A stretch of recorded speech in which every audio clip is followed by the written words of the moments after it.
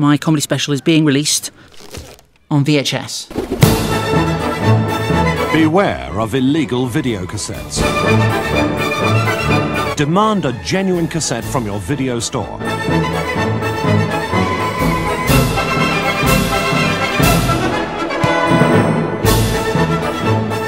Video piracy is a crime.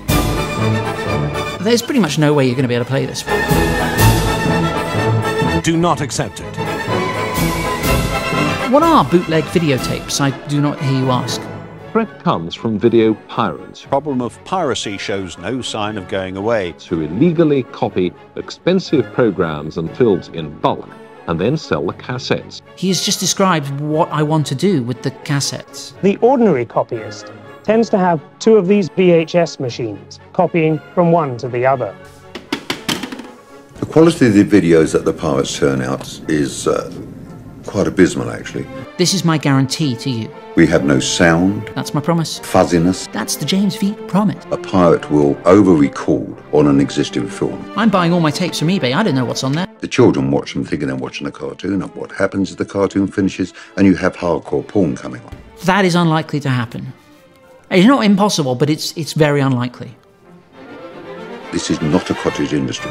This is not a man with two machines in a room just making a few bob. That's exactly what this is. This is large scale, tremendous money being made. Have I mentioned the add-ons?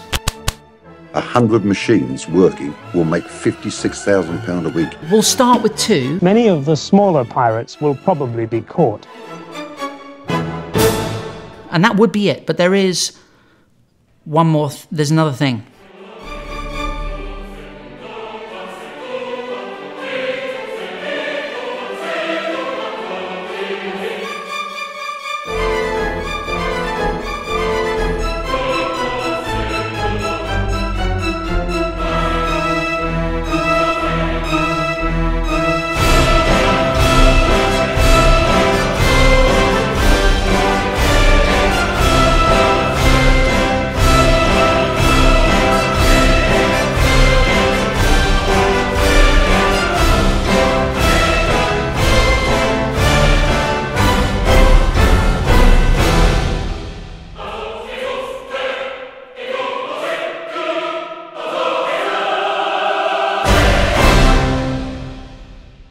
If you're in the US, these are PAL tapes, and the US is NTSC. So you're going to have an even harder time playing them. I mean, that makes it at least four, five percent cooler. It's still.